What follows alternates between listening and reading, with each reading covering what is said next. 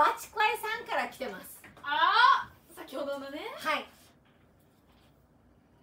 奥さんに「お前は良くないよ」って。言ってたバチコアイさんから。はい。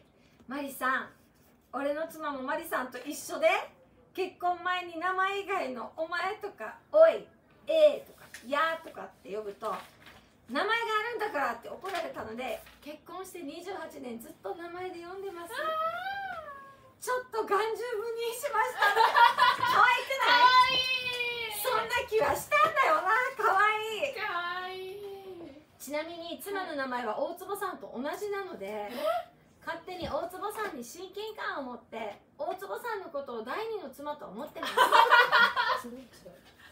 それは違いますね。それは違う。それは違う。あそれは違うって。間違えた。それは違うって。それは違いますそれはダメって。名前が一緒だったら第二の妻はダメこれ OK かなと思ったけど ちょっとラジオ難しい。ついでに今日のリクエストテーマ最高に楽しいって80年代は俺が10代の学生時代だったので今日流れたどのリクエスト曲も全部知ってるのでこの曲は俺が何歳の何年生の時であんなことがあったなとかあんなだったなとかあのドラマの主題歌で主役だったあの子可愛かったなあの俳優かっこよかったなとか昔を思い出しながらノリノリで仕事がはかどってます。ありがとうございます。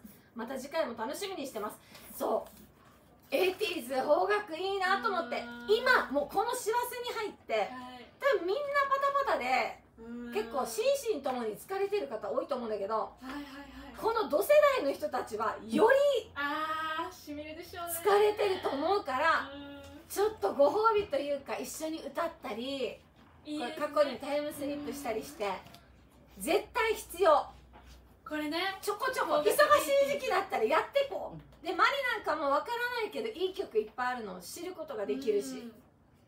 今ねうん。年末調整とかありますからね。そうだよ。めんどくさいのがいっぱいあるみたいなのでみんなパタパタしてるからさ。うん。楽しくいこう。ありがとうバチコイさん。ありがとうございます